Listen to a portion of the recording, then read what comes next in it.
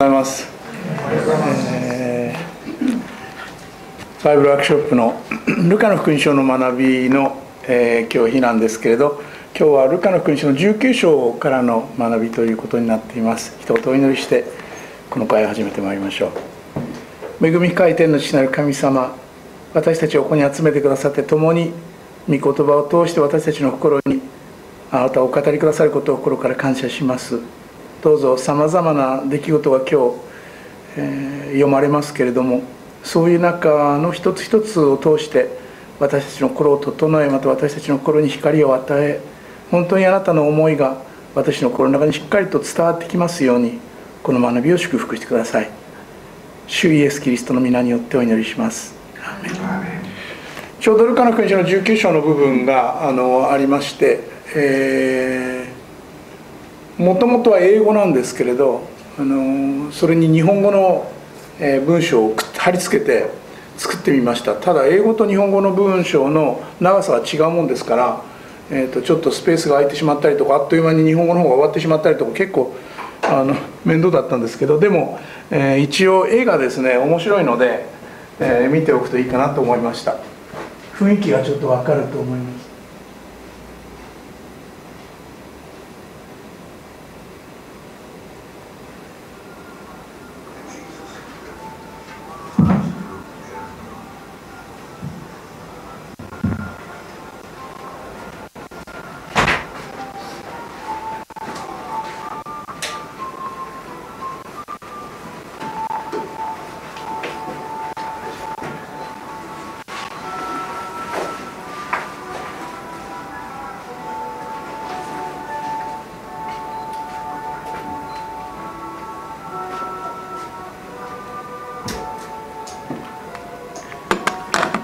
第19章。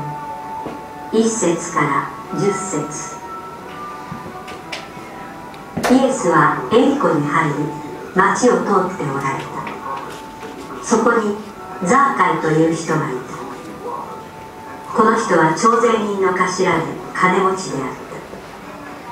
た。イエスがどんな人か見ようとしたが背が低かったので群衆に遮られて見ることができなかった。イエスを見るために走って先回りしイチジクムアの木に登った。そこを通り過ぎようとしておられたからである。イエスはその場所に来ると上を見上げて言われた。ザーカイ急いで降りてきなさい。今日はぜひあなたの家に泊まりたい。ザーカイは急いで降りてきて喜んでイエスを迎えた。これを見た人たちは皆つぶやいた。あの人は罪深い男のところに行って宿を取った。しかしザーカイは立ち上がって主に言った。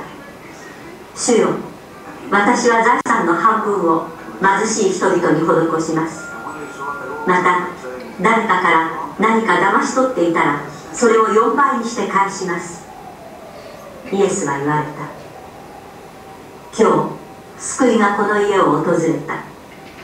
この人もアブラハムの子なのだから。人の子は失われたものを探して救うために来たのである。人々がこれらのことに聞き入っている時イエスはさらに一つの例えを話された。エルサレムに近づいておられそれに人々が神の国はすぐにも現れるものと思っていたからである。イエスは言われた。ある立派な家柄の人が王の位を受けて帰るために遠い国へ旅立つことになった。そこで彼は10人のしもべを呼んで10ムナの金を渡し私が帰ってくるまでこれで商売をしなさいと言った。しかし国民は彼を憎んでいたので後から使者を送り我々はこの人を王にいただきたくないと言わせた。さて彼は王の位を受けて帰ってくると金を渡しておいたしもべを呼んでこさせどれだけ利益を上げたかを知ろうとした。最初の者が進みでこご主人様あなたの一村で十村儲けましたと言った。主人は言った。良いしもべだ。よくやった。お前はごく小さなことに忠実だったから10の町の支配権を授けよう。2番目の者が来てご主人様あなたの一村で5村稼ぎました。と言った。主人はお前は5つの町を治めよと言った。また他の者が来て言った。ご主人様これがあなたの一村です。布に包んでしまっておきました。あなたは預けないものも取り立てまかないものも刈り取られる厳しい方なので恐ろしかったのです。主人は言った。悪いしもべだ。その言葉のゆえにお前を裁こうと。私が預けなかったものも取り立てまかなかったものも刈り取る厳しい人間だと知っていたのだではなぜ私の金を銀行に預けなかったのか。そうしておけば帰ってきた時利息付きでそれを受け取れたのに。そしてそばに立っていた人々に言った。その一村をこの男から取り上げて十村持っている者に与えよしもべたちが「ご主人様あの人はすでに十村持っています」と言うと主人は言った。言っておくが誰でも持っている人はさらに与えられるが持っていない人は持っているものまでも取り上げられる。ところで私が王になるのを望まなかったあの敵どもをここに引き出して私の目の前で撃ち殺せ。イエスはこのように話してから先に立って進みエルサレムに登っていかれた。そしてオリーブ畑と呼ばれる山の麓にあるベトファゲとベタニアに近づいた時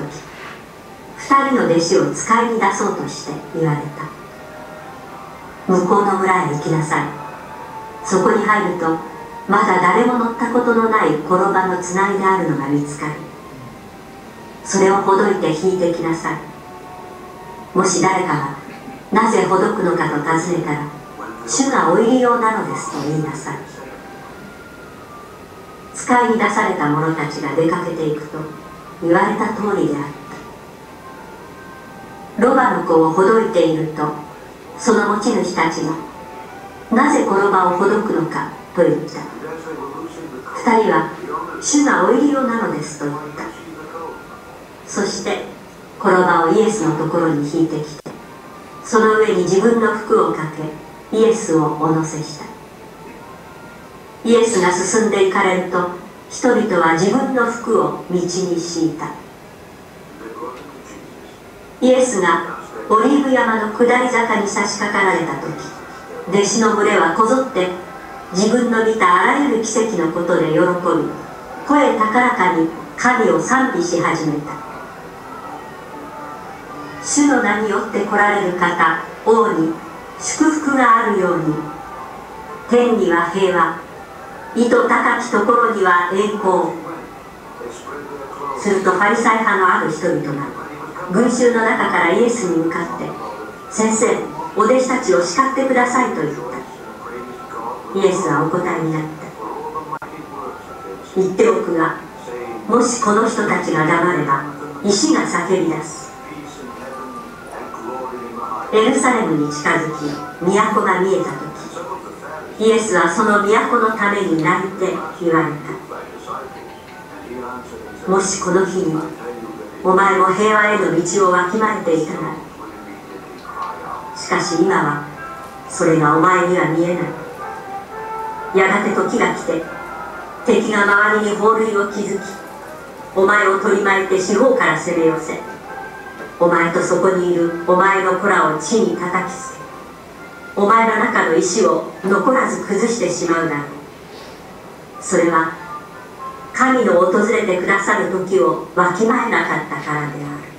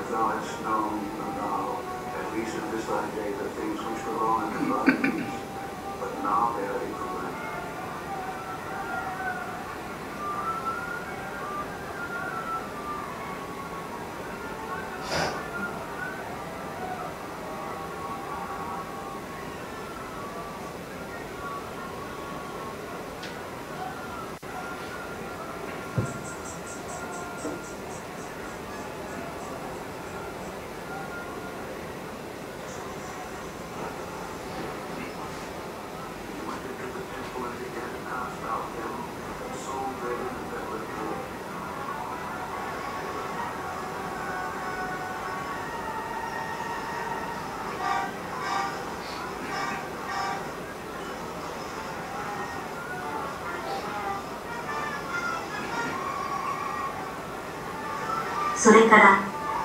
イエスは神殿の境内に入りそこで商売をしていた人々を追い出し始めて彼らに言われた。こう書いてある。私の家は祈りの家でなければならない。ところがあなたたちはそれを強盗の巣にした。毎日イエスは境内で教えておられた。祭司長立法学者神の指導者たちはイエスを殺そうと図ったがどうすることもできなかった。民衆が皆夢中になってイエスの話に聞き入っていたからである。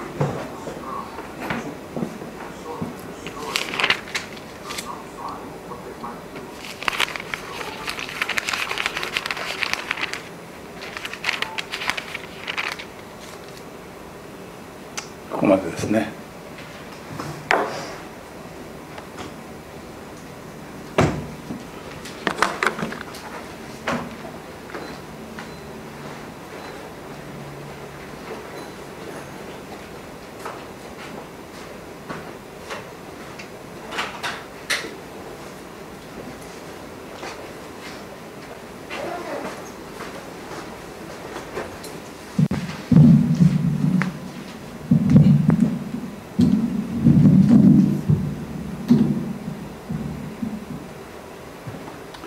映像としては非常にあの分かりやすいシーンがいくつかあったので、えーこれあの日本くっつけて、え持ってまいりました。有名なこの19章の中で一番有名なところというのはおそらくザーカイという人の話だと思います、えー今見ていただいたようにエリコという町にザーカイという人がいて彼は主税人の頭で金持ちであった。しかも背が低かったということが記録されているわけですけれども、まあ、少なくともその当時の社会では徴税人主税人であるということだけでも人々から嫌われていたわけですがなぜ嫌われていたかというとその税金がほとんどそのユダヤの人のためではなくてローマの国のために使われるということだったからですね。敵国のための、えー税金を取ってそしてあとまあいい加減な取り立て方というのもあの有名だったのでそれで結局売国奴のように取り扱われ罪人という名前でさえも呼ばれるような生活をしてた。それがこのザーカイですね。でこの人はイエス様を見ようと思ったけれども人が大勢いて見えなかった。自分は背が低かったので見えなかったまあ背が低かったので見えなかったというよりも背は低かったし人から嫌われていたので見えなかったわけですね、えーでもとにかくこの人はイエス様を一目見たいと何か何かしらの自分の人生の中に変化を求めるという意味もあったでしょうね。えーイエス様を見たいということで前に出てそして一軸川の木に登ったと。さっきの映像ではちゃんとそこにうまいことにはしごがあってですね それでこう登っていくわけですけどもしかしこの人もとにかく恥も外聞もなくとにかく一目見れ見れたらなんかいいことあるかもしれないという思いでイエス様を見たわけですね。でイエス様はちょうどそこに来られてザーカイに向かってこう語ります。ザーカイ急いで降りてきなさい。今日はあなたの家に泊まることにしてあるからとこう言うんですね。これはザーカイにとっては衝撃的なメッセージだったと思います。というのも町中の人から罪人扱いされ誰からも尊敬されていない。イエス様を見ようとすることでさえも周りの妨げがあって自由に見れない。そんなザーカイに向かってイエス様ご自身が今日私はあなたのところに泊まることにしてやると。しかも自分の名前を呼んでそういうふうに招いてくれていると言いますか。あ呼んでくれているということに彼はとっても大きな感動をするんですよね。で結論から言いますけれどこの実は前の章 18, 18章に何が出ていたかというと金持ちの役人のことが出ていて彼は大金持ちだったんですけれども神の国に入れない永遠の命を得るためには何をすればいいでしょうかというふうにイエス様に言っていや持ち物全部売り払ってという話を聞いてたけどもアウトという感じで彼は悲しい思いで去っていくという物語がありました。つまり前に出てきた人はなんか自分の努力で神の国に入れるんではないか自分の努力でえかその永遠の命を得られるのではないかと思ってたわけですけどもザーカイは全くそんなことを夢にも考えていなくてもう自分はダメだけれどもイエス様に一目会えたら何かいいこと起こるかもしれないというぐらいのところでしかもイエス様がザーカー急いで降りてきなさい。今日はあなたの上に泊まることにしてあるという声を聞いた時彼のリスポンスはどういうものだったかというと彼は急いで降りてきてそして大喜びでイエスを迎えたとこあるんですね。急いで降りてきて大喜びで迎えたというイエス様に対する歓迎の心。この前に出てきた役人は情報を集めようとしてどちらかというと立場から言えば上の立場なんですよね。イエス様と比べた場合ね。あなたにお金はないでしょうけど私お金あるんですよ。あなたに社会的立場ないんでしょうけど私社会的立場あるんですよ。ところでねという感覚ですよね。ザーカイはもうそんなことは一切関係なくイエス様を迎えるんです。そして人々は当然のことながらこのことについて文句を言います。あの方は罪人のところに行って客となられたと言ってつぶやいたという言葉がこれ新海訳聖書ですけども出てきます。あまり嬉しいことじゃない。これイエス様にとっても嬉しいことじゃないしザーカーにとってだって嬉しいことじゃないと思いますよね。なんでイエス様あんなとこに行くんですか？もうちょっとまともなホテルあるではないですか？というようなね。何もあんな人のとこ行く必要ないじゃないですか？という声を聞く。ところがですねその声を聞いてザーカイは立ってこんな告白をするのです。主よご覧ください。私の財産の半分を貧しい人たちに施します。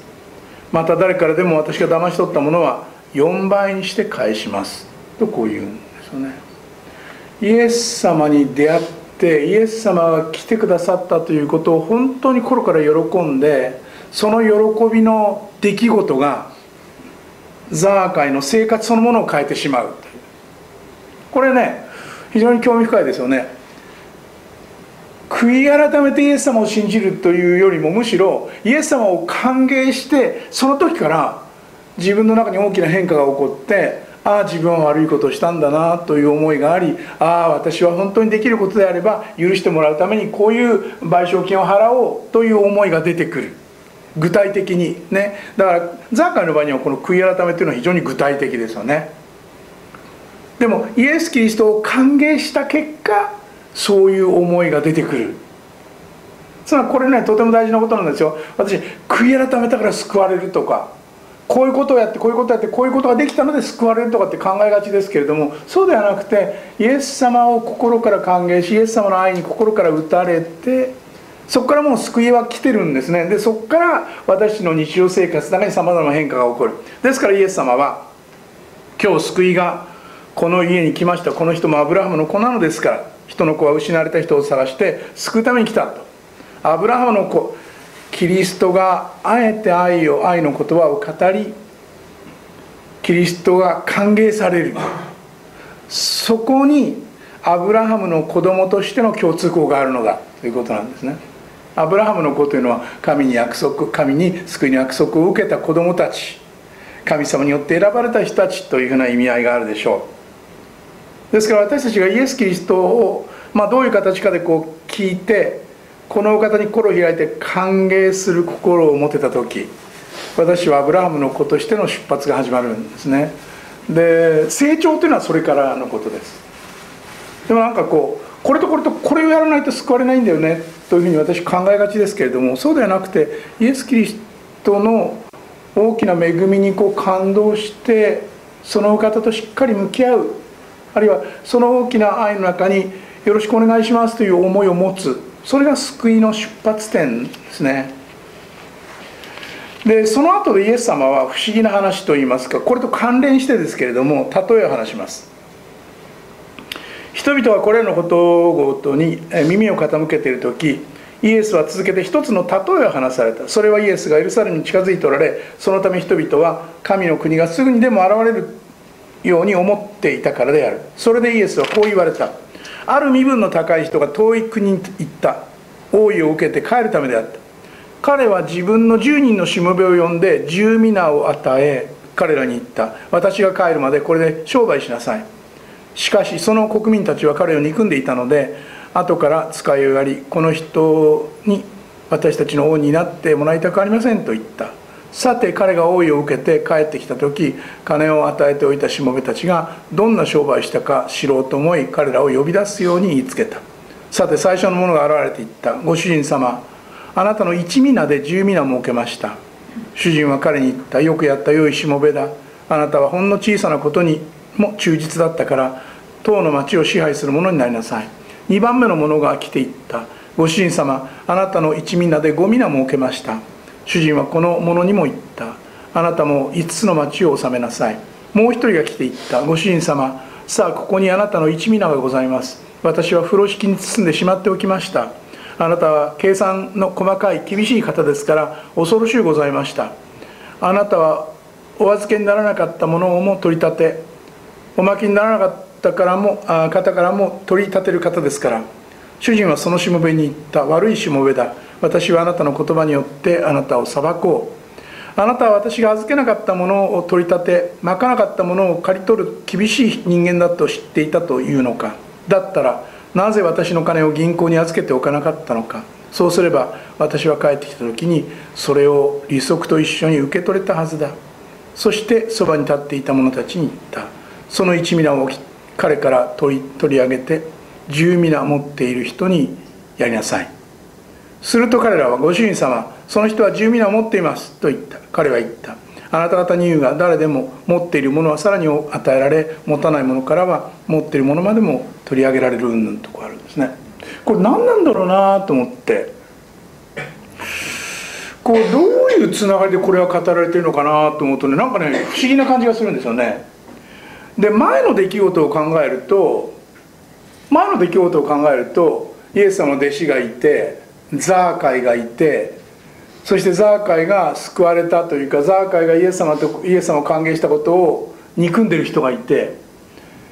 でもちろんその中には宗教家もいっぱいいるわけですよね。でそういうふうに考えていきますと神様から預けられたもの神様から預けられたものの一部を用いて儲けるというのは神様から預けられたものを用いて他者を祝福するということなんですね。預けられたものを用いることで他者を祝福する。実は恵みってそういうものですね。恵みとか賜物っていうのはそういうものですよ。自分のために働くんではなくて神から託された事柄を本当にそれを使うことで神の恵みとして相手に提供し神の恵みとしてその人を祝福する。そらくザーカイはそんなことを意識せずに私は今まで騙し取ってきたものをこの人たちに返しますというしかも普通の社会的な常識では考えられないぐらい倍にして返しますとか。常識では考えられないほど多額なものを私は施しますというようなことを言うわけですね。これはいわば一皆使って多くを設けるというのと似ているでしょうね。おそらくね。あるいはイエス様を歓迎するという作業だって自分の家に連れてくるという作業だってさっき見てて分かったようにあれみちみちですよ。ザーカイに「今日あなたの家に泊まることにしてあるから」ってイエス様だけだったらいいけどイエス様と12人の弟子がいるわけですよね。これ13人を急に家に連れてきてですよ。今日お客さん来るから13人って言ったら多分奥さんと大喧嘩になると思いますよ普通ね。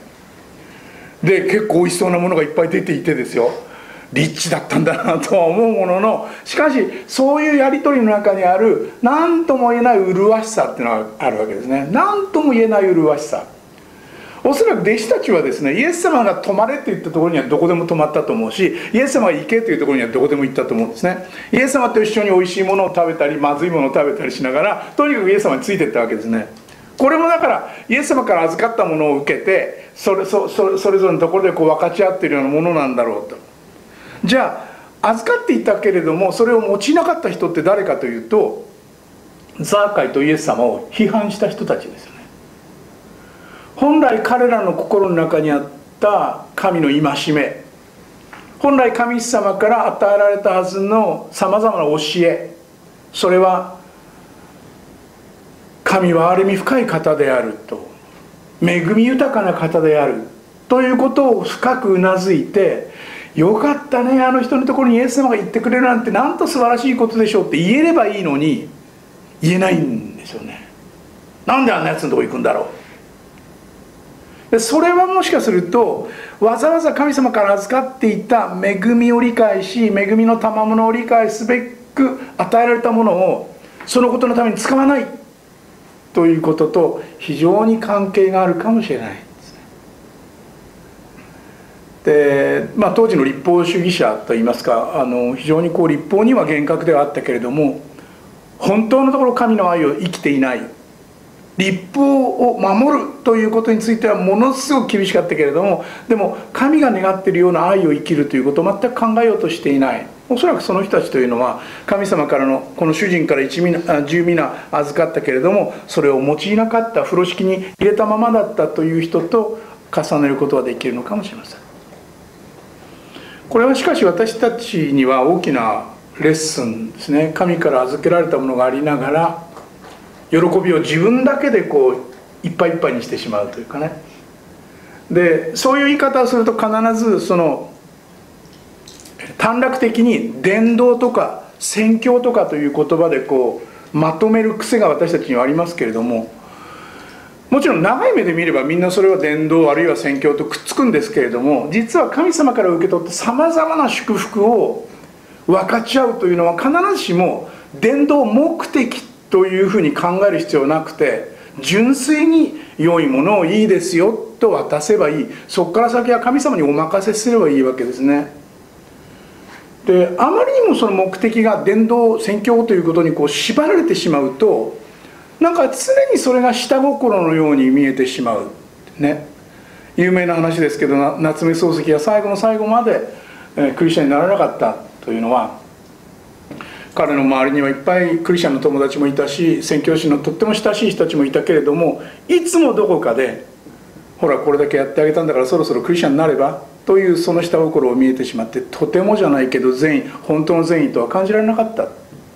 というのがあるんですよね。でこれはねとても危険なことだと思います。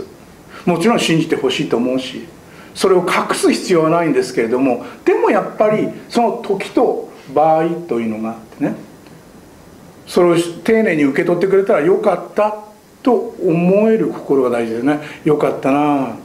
これで信じてくれるかなってそこまで考える必要はない。それは神様にお任せすればいいことなのでしょう。まあいずれにしてもそういう意味では私たちはそれぞれにそれぞれに十皆与えられている。まあ一皆というのは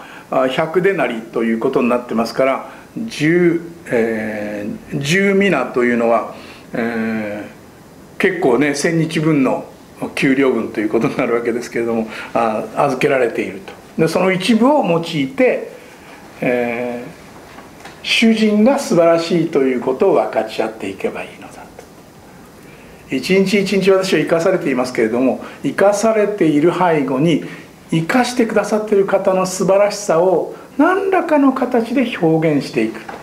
私を生かしてくださってる方の素晴らしさを何らかの形で、表していく。というのはねとても大事なことですね。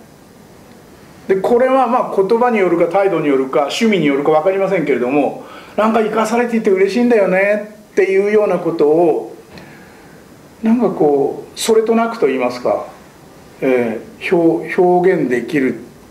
というというのはもしかすると私たちに託されたとっても大事な使命なのかもしれないとさえ思います。具体的に大きなことをするということではなくて何かやっぱりこう生きてることあるいは綺麗なものが見れた美しいものを聞くことができた。そういう喜びをしみじみああよかったと自分でかん、ね、自分で感じそれを言葉にね自分の自分に聞かせて自分に聞かせながらもしそういう話題になった時にはいやこれよかったよっていうそういうやり取りですね。これ極めて人間的なやり取りですね。この間からあのえっとソウルライターという名前の、えー、アメリカ人ですけどももともとはユダヤ系の方なんですけれど、えー、1940年1950年ぐらいに活躍した写真家のえー、DVD とかあるいはその写真集をちょっと凝っていてですね私見てるんですけれどもあのー、1950年代ですから写真、まあ、カメラは当然フィルムカメラだったわけですけれども非常に興味深いんですよね。で、えー、どちらかというとこうまあ写真としても素晴らしいというだけでこう芸術作品として非常に評価されていてただ彼はですね1900おそらく80年から2000年ぐらいまでの間どっかか雲隠れするっていうか全くどこの展示会にも出さないし何にもこう音沙汰がなくなってで、まあ、消えたようになってしまうんです。でドイツの出版社が彼の作品があるということに気づいて、まあ、彼の作品を集めて展示会をするということで、まあ、彼がもう一度こう脚,、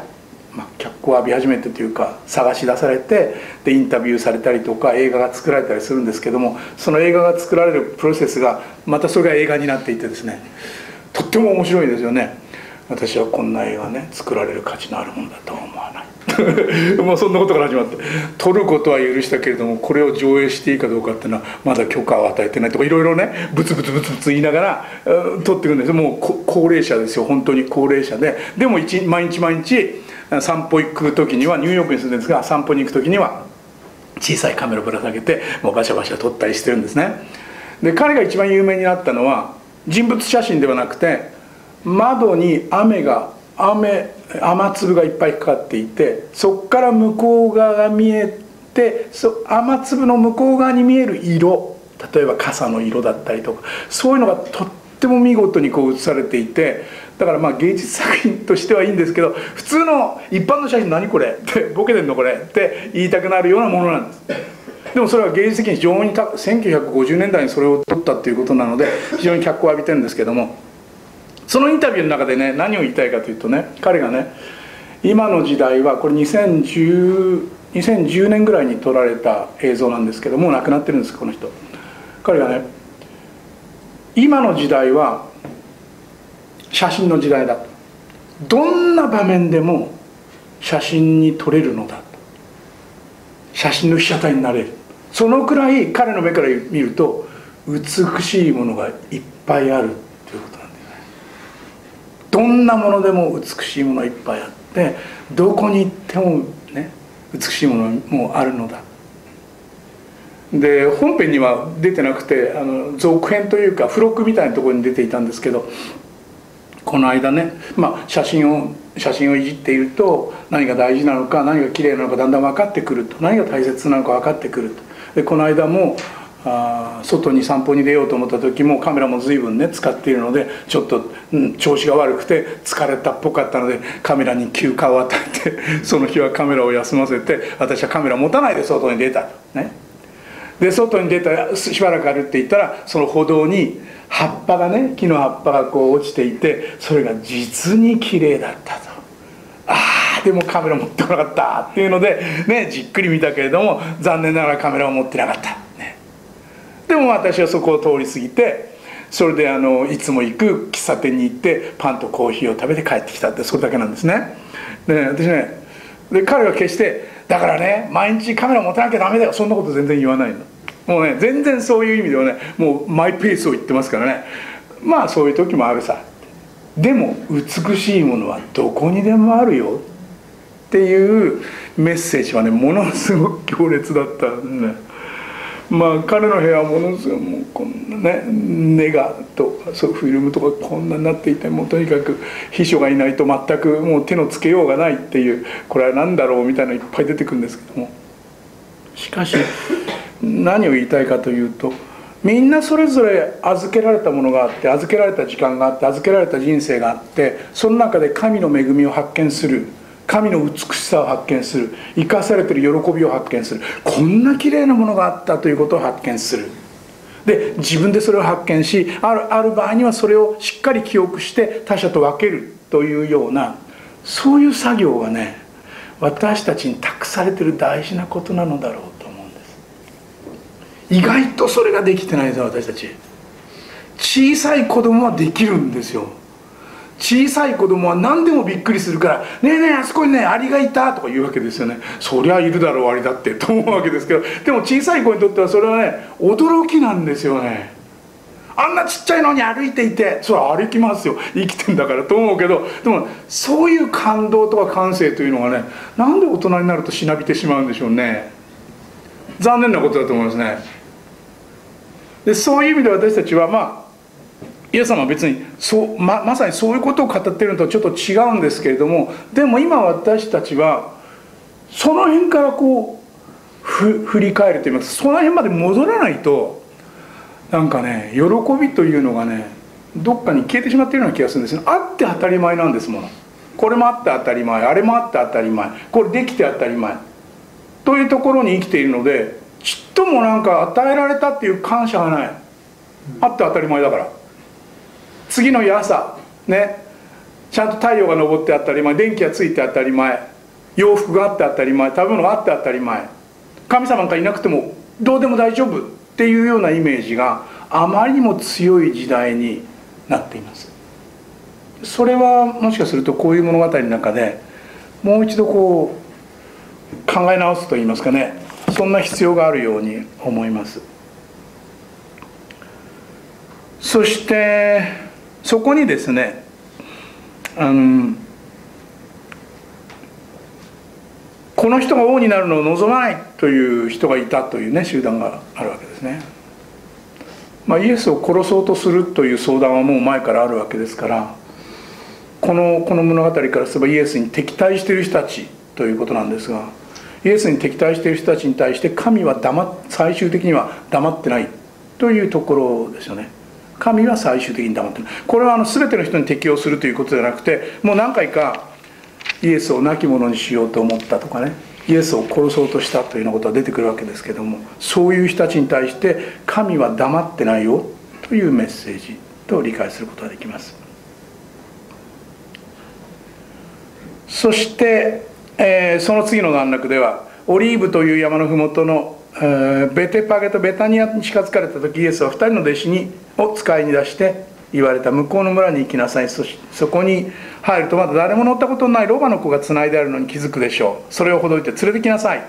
でもし、えー、そこにいる主人がなぜほどくのかと尋ねる尋ねたら主がお入り用なのですと言って連れてきなさい。まあ主がお入り用なのですというのは本来の持ち主である方がお入り用なのだというね本来の持ち主である方がお入り用なのだというふうに訳されるべき言葉なんですけどそれでえー、それを連れてくるとイエス様はその転ばに乗って、まあ、エルサレムに入場するわけですが、えー、そこでは大歓迎があるわけですね。イエスがすでにオリーブの山の麓に近づかれた時弟子たちの村は皆自分たちの見た全ての力ある技のことで喜んで大声に神を賛美し始めこう言った祝福あれ主の皆によって来られる王に天には平和栄光は意図高きところに。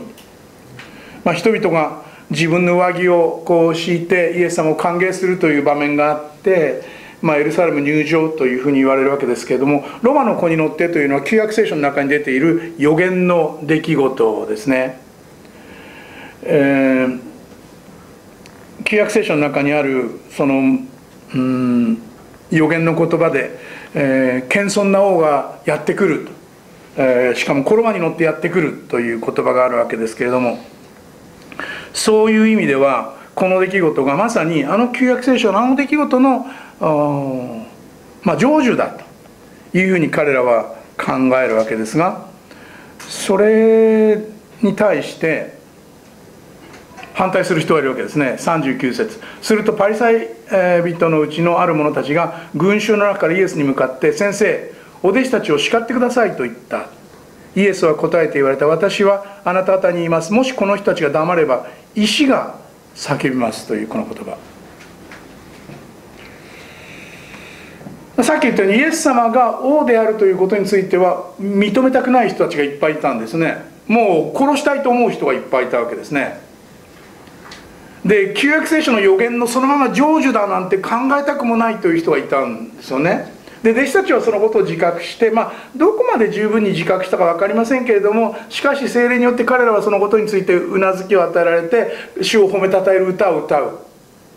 でそれをやめさせてくださいと頼む人がいるとイエス様は私はあなた方に言います。もしこの人たちが黙れば石が叫ぶというもう切羽詰まった状況の中でこれほど真実なことはないのだというんですね。これほど真実なことこの人たちが黙ったら石が叫び出すというイエスが王であるということに関して言えば石が叫び出すほど切実な深刻なしかし現実的な出来事なのだ。ということですね。でイエス様がエルサレムのために泣くという場面が出てきます。エルサレムに近くなった頃都を見られたイエスはその都のために泣いて言われた。お前ももしこの日のうちに平和のことを知っていたのならしかし今はそのことがお前の目から隠れている。やがてお前の敵がお前に対して類を築き周りを取り巻き四方から攻め攻め寄せそしてお前とその中の子供たちを地に叩きつけお前の中で一つの石も他の石の上に積まれたままでは残されない日がやってくる。それはお前が神の訪れる時を知らなかったからだという言葉が出てきます。これは実際には紀元70年にローマの兵隊がエルサレムを包囲し攻めてきて1日で、えー、そこにあった神殿80年ぐらいかかった神殿を1日で崩してしまうんですね。でもうそれこそ破滅を経験するんですエルサレムはね。でもこの言葉通りですね石が残っていないぐらいの大きな大きな打撃を受ける。でそれは神の訪れの時を知らなかったからだと。イエスが王としてやってくるということを拒み神が今どうすべき時かということを拒み自分たちの掟を守るということでもうそこだけにこう、えー、心を使っていて心が神様としっかり向き合っていることがなかったからだということが言われるんですね。そして最後の場面は、えっと、宮清めの場面ですね宮に入られたイエスは商売人たちを追い出し始めこう言われた私の家は祈りの家でなければならないと書いてある。それなのにあなた方はそれを強盗の巣にしたとこうあります。えー、もともとこのイエス様が、あのー、商売人の商売人たちを追い出したという場面は部分は神殿の中のどちらかというと外側の庭どちらかというと外側の庭で違法人が祈りのために許されていた場所。というふうに言われています。違法人が祈るために許され入ってくることを許された場所。そこはもう商売人だらけでいっぱいになったわけですね。まあ誰でもそこを通らなければ内側には入らなかったわけですけれども。で本来祈りの家として全ての人に開かれていたはずなのにそこが閉ざされていて自由に自由に入ることもできないししかもそこで売り買いがなされていてでその売り買いも結構不正がなされていたと言われていて例えばその、えー、捧げ物として生贄として捧げられるべくものとして売られたものが中に入ってそしてまあ、まあ、捧げたぞと言って報告はされるけれどもそのまままたそれがね外にしっかり連れ出されてまた売り物のところに置かれているとか。まあそういう非常になんかいかさまな出来事がいっぱいあったというふうに言われていますけれどもとにかく祈りが妨げられ商売としてそれが用いられ神の望むこととは全く違う出来事が神殿の中で実行されていた。でそれについてイエス様は「私の家は祈りの家でなければならない」と言ったんですね。祈りの場が商売の場になってしまっている。祈りの場が祈りが妨げられる場所になってしまっている。という問題。でしかもイエス様はこれを知った後で神殿に行き毎日そこで神の言葉を教えているんですよね。祈りが整えられて祈りの場が整えられてイエス様は教えを確立されようとしている。祈りの場が整えられて人々に神の教えがこう届こうとしている。というのは非常に興味深いですね。祈りの場が祈りの場としてきちんと整えられてから教えるということが実行されている。非常に面白いですね。私の家は祈りの家でなければならないと書いてある。それなのにあなた方はそれを強盗の巣にした。祈るということだけのためのスペースがあまりにも少ないというのは悲しいことだと思います。祈るということのために場所が提供されてないというのはある意味とても残念なことだと思います、うん、私はもうお茶のクリスチャンセンターと関わって40年近くなりますけれども40年ぐらい前から別に学生たちのために例えば昔はね談話室とかそういうのがあったらどうですかっていうふうに言ったこともあったし祈るということのためにスペースがどっか空いててもいいんじゃないですか？ということを言ってきたことがありました。でも大体まあそれは保安上の理由でっていうね。防犯上の理由でというのがあってそんなことやったら人が住むようになっちゃうからとか、ね、酔っ払いの人が入ってきてそこに寝泊まりしちゃうからとかってまあそういうふうなことでずっとできずにいるんですね。それね実際問題としてはとてももちろん難しいことはいっぱいありますけれどもでもねやっぱりこういう場所ってね祈りの場所であるべきなんだと思う。でここはプレアセンターって言っていてこう24時間祈りのためにオープンではあるんですけどそれでもやっぱり9時から5時までですからね。まあ集会があれば9時までですけれど、えー、まあその間に来れればもちろんそれでいいんでしょうがでもいつでも来れるわけだ。集会やってればここに入れませんし。でそういう意味では祈りの場って今どこにあるのかなって思うんですよね。祈りの場。礼拝の場祈りの場。きっとね私たちはそういうことについてもう少し考える必要があるかもしれませんね。上智大学のあるあのイグナチオに行くといくつか大きな聖堂がありますけどそのうちのいくつかはいつも空いていて祈りだけの場としてとても静まる場所があります。私はちょちょくちょく行くんですけれどもやっぱりこう整えの場としてはとてもいいように思います。でそういうふうなものがこう軽視されている、まあ、軽視というか誰が来るかわからないしっていうようなイメージはあんまり健全だと思わないんですよね。で祈りってもちろん祈りの指導は必要なんですけど祈りをするためにね別に説教はいらないんですよただそこにスペースがあればいいだけのことですね私何回かあのカトリックの方々が指導している、えー、黙想会とか瞑想会とか出入りをしていますけれども私あのカトリックの 黙想会で大好きなのは説教がほとんどないことなんですね。聖書を読んであとはじゃあ1時間こっちであの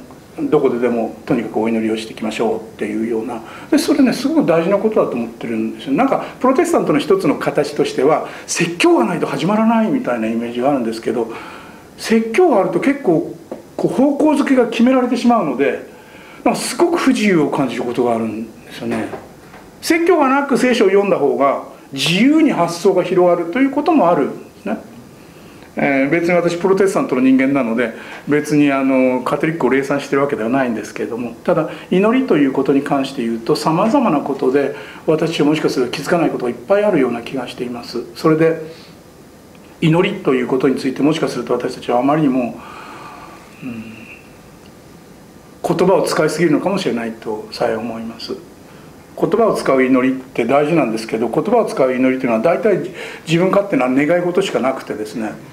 自分勝手な願い事っていうのは必ずしも祈りの全てではないので神様との対話神様の声を聞くことも祈りなわけで神様に何を神様は何をしてほしいと思ってらっしゃるんだろうっていうのはこっちで言葉を出したら絶対に分からないわけで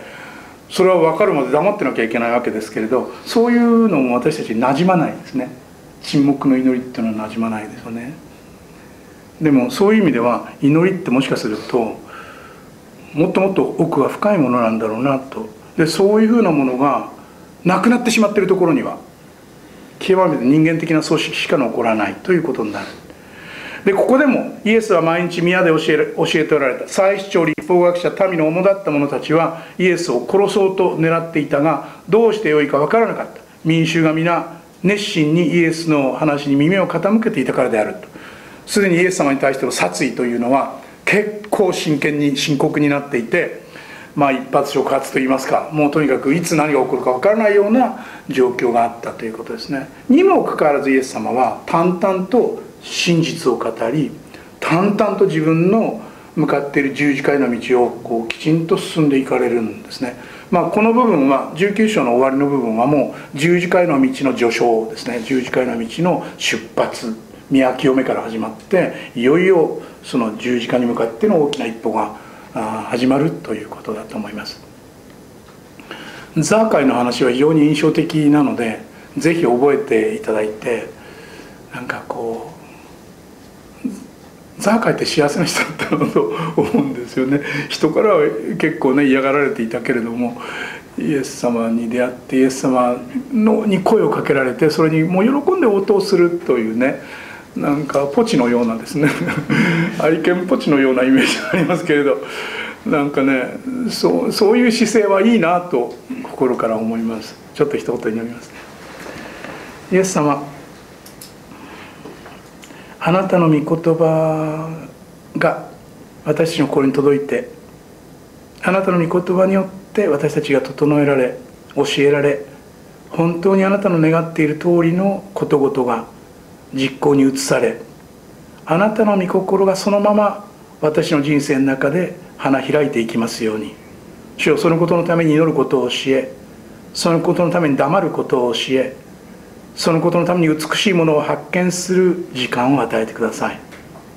そのことのために人を褒めることを教えそのことのためにさまざまな良いものを見良いものを聞くことができますように。主よあなたの大きな恵みを感謝します。与えられているものを丁寧に使いながら生きていけますように。主イエスキリストの皆によってお祈りします。アメン。えー、っとあと10分近くあるんですけども、えー、もし何か 質問とかご意見とかあれば、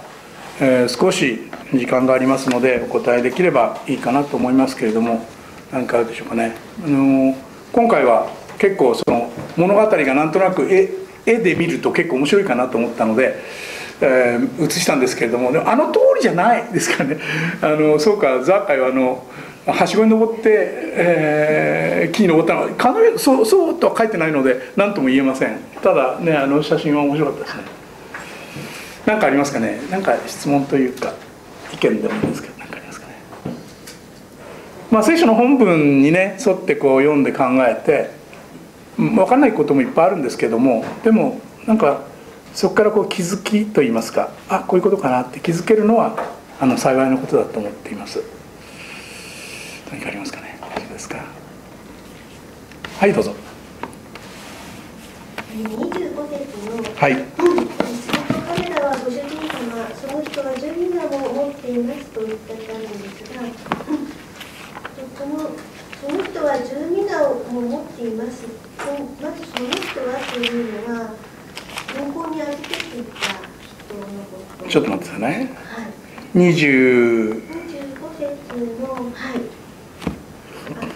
えーと、すると彼らはご主人様その人は十皆も持っていますと言ったというのの,、はいはいはいはい、彼らっていうのはあの、えーとまあ、群衆と群衆ってい。うか、まあ、あのそのえーと、ちゃんと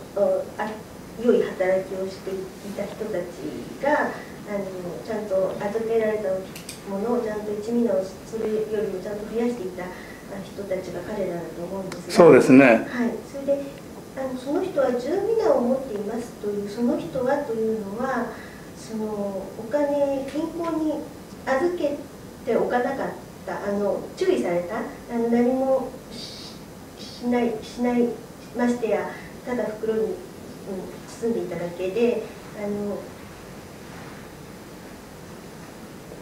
まあ預けなかったものを取り立てまかなかったものを刈り取る厳しい人間だと知っていたと言っていた、はいはい、あのその男の人のことをまず言うんでしょうか。どうなんでしょうね。えーと、この人は一皆まずととりあえずあれですよね。主人に渡したわけですよね。これ一皆、えーと、残りは自分でまあ持ってたわけですね。でここではそのその一皆を彼から取り上げて十皆持ってる人にやりなさい。ということですから。つまり本来設けるべきために用いるべきものまあ他の人がそうであったようにそれを他の持ってる人にあげてしまいなさいっていうことですよね。もちろんこの人はゼロにはならないですよ。ゼロにはならないですね住民住民のあるわけですからね。えー、あのー、私はすみませんそもそもで申し訳ありません。え。ーと、その10ミナっていうのはそれぞれ10人に1ミナずつ渡していたんだと思ったんですがあそれってか稼いでる人は稼いでる、稼いでない人は稼いあの、まあ、稼ぎが多い人は多く稼いでるし稼いでない人は稼いでないと思ってたんですけど10人に1ミナずつ渡していたわけではないんです。どうなんでしょうねその辺は。その辺のところはね。はいはいはい。まあ一番分かりやすいのはそうですよね。10人 ,10 人に10皆っていうことは1人あれですからね。確かにそうですねで一番いつもずっとここで分からないって、はい、もう本当最近聖書を見出したんで本当にあのごめんなさい。いえいえいえ。あの本当に半年も読んでないので大丈夫ですよ。素朴な疑問なんですけどここでいうそのその一皆を彼から取り上げるっていうのは分かるんですね。何人か、はいはい、ちゃんと働きをしなかったら、働くべき人に渡し渡すも取られてしまってあのみんなにこうあの渡さ働ける人にこう渡しなさいっていうのが分かるんです、ただそのそのその人は10ミナも持っていますっていうのはその人は本当は稼いでいたのにその袋の中にしまっていたのではなくてもしかして何か働きをして稼いでいたのに嘘をついているようなことを言っているのかちょっとその辺がわからない。どうなんでしょうね。あんまりそこまで複雑だとは思わないんですけどねはい、なんだかよくわかんないな。そうですね。あのこのここにね一つのえっと面白い説明があるんですけれど。その辺のところが非常に面白いところですね。お金の問題っていうのはねすごく面白いんですよね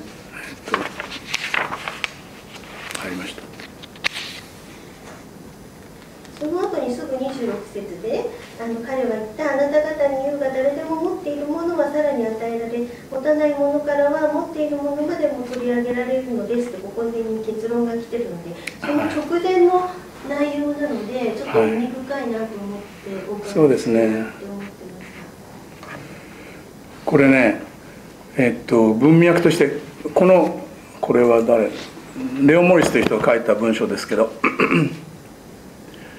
それでそのお金を彼から取り上げられ金を有効利用したことのを証明した人に与えられたと。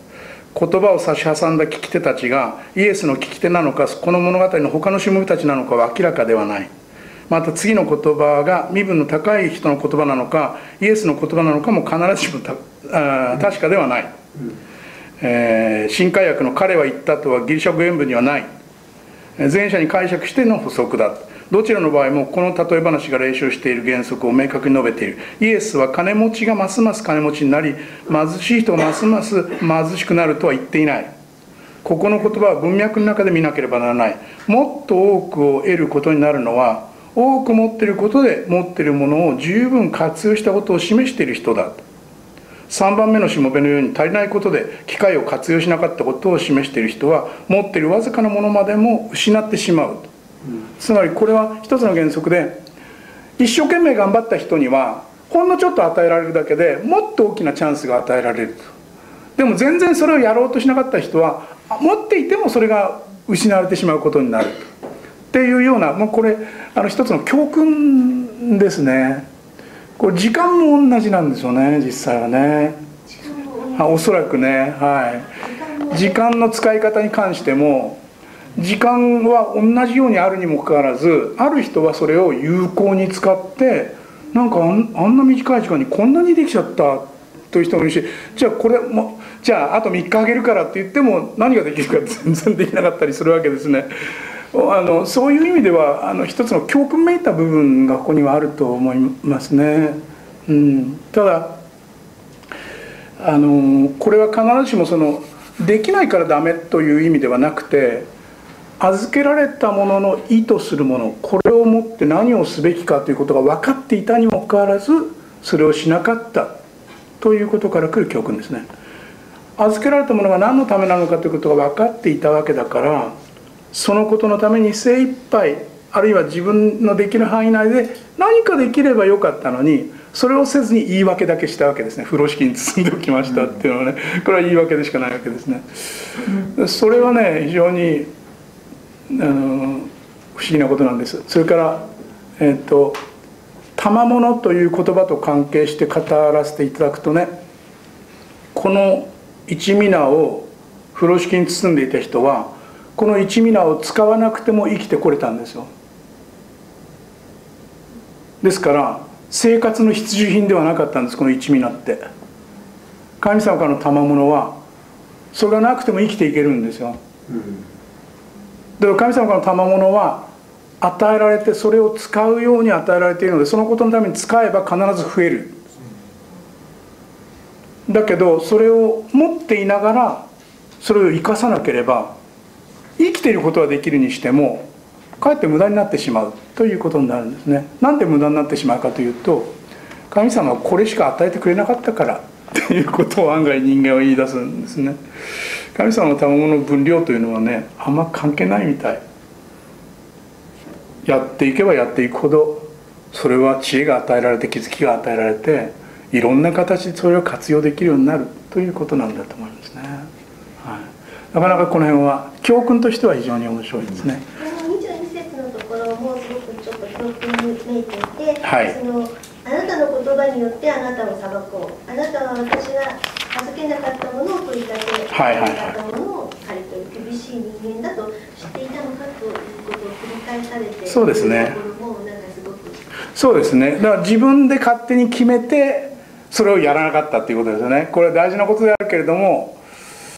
失敗したらどうしようとかね。うんどうせやったところで評価は低いだろうっていうふうに自分で値踏みで値踏みをしちゃってるわけですよね。それもやっぱり残念なことだと思いますね。ありがとうございました、